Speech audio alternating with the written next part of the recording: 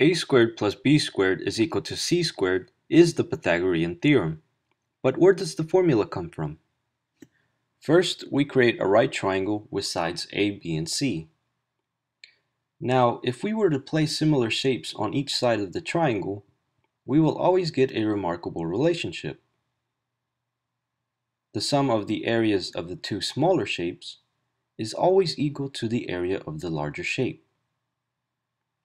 And there are many examples we can use, and they all hold factually true, even with very unique shapes. So, in order to show that the Pythagorean theorem works, we will demonstrate it with squares. Remember, the area of a square is side squared.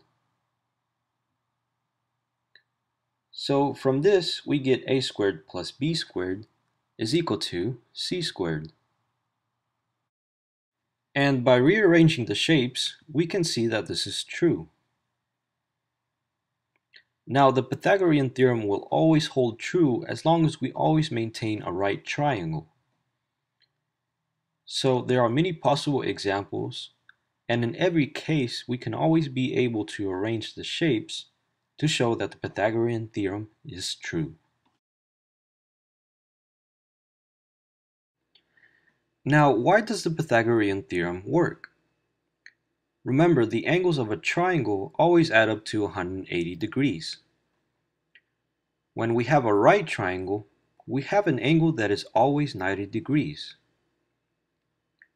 So the remaining two angles must add up to 90 degrees to have a total of 180 degrees.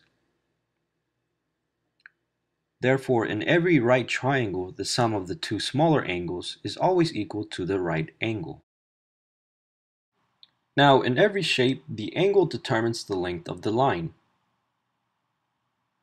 which in turn determines the size of the shape. So, as we have seen before, the sum of the areas of the two smaller shapes is equal to the area of the larger shape, which is a direct result of the sum of the two smaller angles equal to the right angle. So the Pythagorean theorem works with any set of similar shapes as long as we have a right triangle.